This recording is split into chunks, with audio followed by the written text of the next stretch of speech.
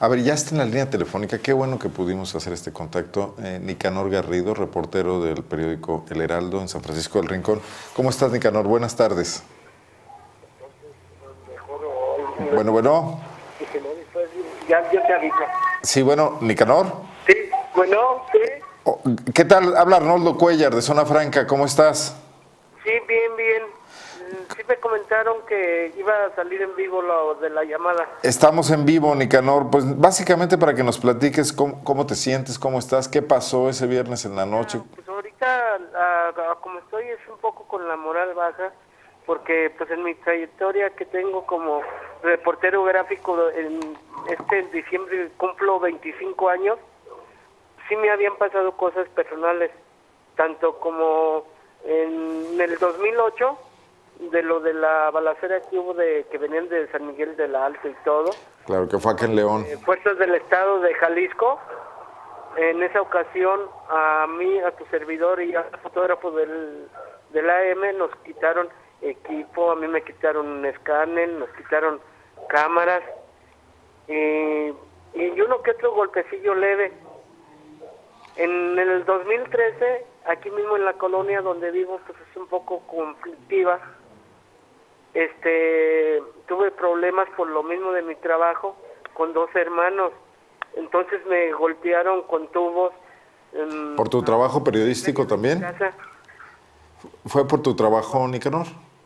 Sí, eh, reportero gráfico. de- Digo, pero por eso te agredieron estos, estas personas. ¿Perdón? ¿Te agredieron por eso, por tu trabajo?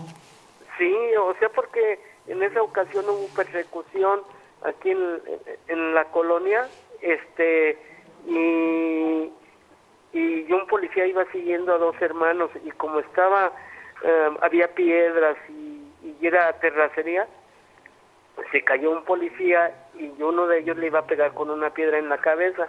Entonces yo le grité al cuate en el 2013 que qué iba a hacer y pues desde ahí ya empezó a agarrarla personalmente conmigo porque me dijo que a mí que me importaba y a los 15 días de ese hecho mm, dos hermanos me agredieron aquí mismo en la colonia a, a- dos cuadras de donde vivo con tubos y todo. En esa ocasión pues los prese- presenté también mi demanda y, y ante el Ministerio Público pues yo les dije que que iba a retirar la demanda porque me dijeron que los podían procesar porque yo tenía el sartén en la mano y atentaron contra mi vida y les dije que no por ellos yo me iba a cambiar de aquí de de aquí de la colonia porque aquí habían crecido mis hijos y todo y les dije que si les iba a otorgar el perdón no era por miedo sino que si nos llegáramos a encontrar o algo si me si topábamos y me querían saludar bueno y si no era para mí era igual.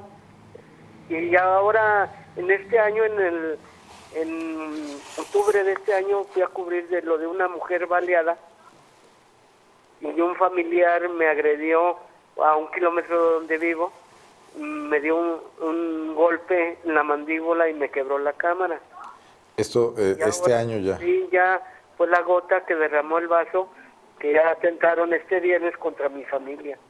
Oye, Nicanor, ¿se ha vuelto muy peligrosa la actividad periodística como están las cosas en Guanajuato?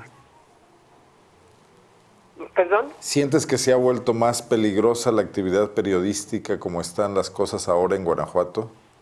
Pues yo pienso que sí, porque tú sabes que a nivel nacional ahorita eh, aquí en Guanajuato estamos en primer lugar en, en violencia. Oye, estas, estos ataques con, que, bueno, como tú dices, ya, ya se excedieron, es una agresión a tu familia, arrojaron bombas incendiarias que pudieron haber provocado una, Tres bombas, tres bombas que explotaron. Y, una quedó intacta. Este, las llamaradas ya iban para dentro de, de mi hogar. Gracias a Dios yo estaba aquí y un hijo mío. Y pues eh, como fue al momento, pudimos eh, controlar el- la lumbre, el juego y pasó nada más a susto. Pero pues como te digo, ya esto fue la gota que derramó el vaso, porque sí, te repito, ya fue contra mi familia. Oye, Y así como está la situación aquí, eh, pues a nivel estado, este, pues ya anteriormente estoy hablando de hace tres, cuatro años, no era lo mismo. y ya ahorita aquí en Guanajuato pues sí ya, ya rebasó la, la línea en cuestión de... ¿Tú tienes idea de quiénes fueron las personas que arrojaron esto? Mm, pues ya les di al Ministerio Público, ya les di dos, tres líneas de investigación y ya que ellos determinen, que determinen este eh, qué, qué, quién eh, con, les dije que con quien resultara responsable. Claro. En estas mismas semanas que me pasó esto a mí, manejamos una nota de aquí mismo en la colonia de un sujeto que le dio dos balazos a otro y como apareció el nombre y salió la nota el jueves, luego luego el, el, el viernes para amanecer me sucede esto. Pero bueno, tú eres fotógrafo, eres reportero gráfico, la responsabilidad de quién pone... Cinco años en este trabajo. La responsabilidad de poner los nombres pues no es tuya, ¿no?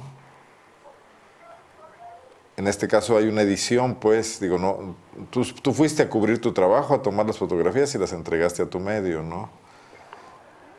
Sí, como te digo, mira, este, ahorita ya de gobernación, desde México ya estuvo contacto conmigo desde el día de ayer, este, la Procuraduría de Derechos Humanos Estatal, y hoy precisamente también la nacional ya se puso a mis órdenes. Bueno, además tenemos ahora una ley de protección a periodistas, ya fue aprobada. ¿Se han puesto también en contacto contigo de la Secretaría de Gobierno de Guanajuato? Pues la Secretaría de Gobierno de Guanajuato ya eh, me hablaron por parte del artículo 19, no sé qué. Ah, no, artículo 19 es, otra, es una organización independiente. Es, Este es independiente. También tomaron en ellos una nota, al parecer iba a salir hoy, porque ayer me mandaron Mm, que ya la habían escrito y me tomaron el parecer y les dije que sí, que la manejaran. Muy bien, qué bueno, qué bueno, porque eso le va a dar visibilidad en otros lados, nacionalmente, internacionalmente. ¿Tienes algún tipo de protección, Nicanor? Mira, hasta ahorita, hasta ahorita, pues ya también tengo precisamente hoy una cita con el alcalde de aquí de San Francisco del Rincón y ya él me ofreció de que por parte del municipio me iban a poner una cámara de vigilancia. Pero bueno, además requerirías eh, también vigilancia, de algún tipo de apoyo de seguridad, de policiaco.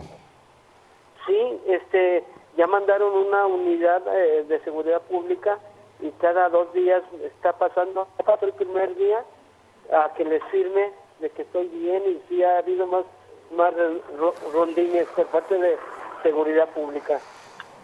Bueno, ¿sigues trabajando normalmente? ¿Sigues desempeñando tu trabajo de reportero gráfico? una reunión con los jefes del periódico, con el dueño, estuvo el representante del dueño del periódico y ya me, pues ellos hasta ahorita dicen que ya no me exponga y me dieron luz verde a que, a que pues está primero mi, mi integridad. Claro. Y después lo del periódico. Qué bueno que hay respaldo de tu empresa. Perfecto.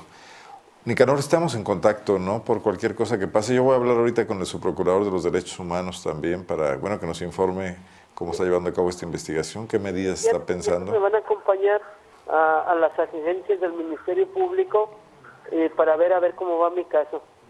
Estamos también nosotros muy atentos para que nos informes. Eh, por ahí Jorge Hernández, que entiendo que estará en contacto contigo.